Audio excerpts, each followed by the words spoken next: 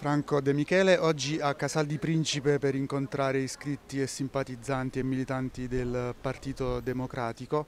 Il suo slogan è sviluppo legale. Qui da qualche anno è iniziato un percorso serio di cambio di rotta rispetto al passato. Ma lei perché ha scelto questo slogan?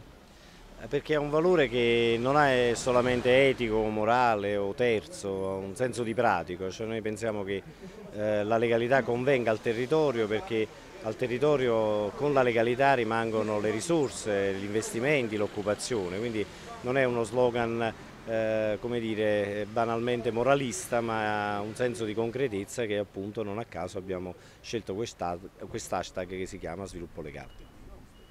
Casal di Principe è anche diciamo, l'epicentro della Terra dei Fuochi, il governo Caldoro diciamo, ha gravi responsabilità sotto il punto di vista ambientale, mancate bonifiche. Lei se dovesse essere eletto eh, cosa proverà a fare per eh, invertire questa tendenza?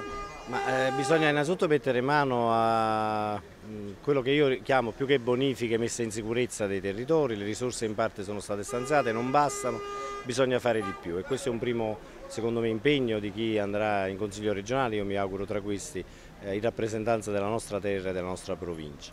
Eh, poi bisogna chiaramente continuare a non abbassare la guardia perché il tema è ampissimo, c'è ancora molto da capire eh, e da fare, ovviamente però anche qui eh, bisogna stare molto attenti perché eh, non bisogna assolutamente eh, pensare che il problema sia stato in qualche modo risolto, anzi bisogna continuare a combattere perché questi fenomeni non accadano più.